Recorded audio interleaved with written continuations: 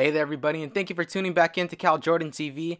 Don't forget to subscribe and turn on those notifications for more Marvel and DC related news and reviews. I wanted to post a quick video of the new Strong Guy Build a Figure wave because a lot of images have been circulating of the wave and the inbox images of those figures. We're going to have Black Tom Cassidy, and it is revealed to be Sheikla. It's now confirmed. Uh, Marvel's Sunspot and Warpath, which was confirmed last year.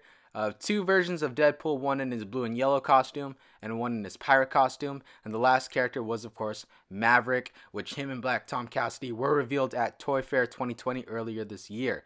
So they all form the Strong Guy Build a Figure, which we don't have an exact release date yet, but will most likely be towards the end of this year because we still have the Retro Spider Man wave to come out, and some Age of Apocalypse waves haven't fully been hitting yet. So once those two waves are in full effect, we will most likely be seeing the Strong Guy wave starting to hit stores. When the release date is released, I will be sure to, to post a video about that. So once again, thank you guys for tuning in. Don't forget to subscribe and turn on those notifications for more Marvel and DC related news and reviews.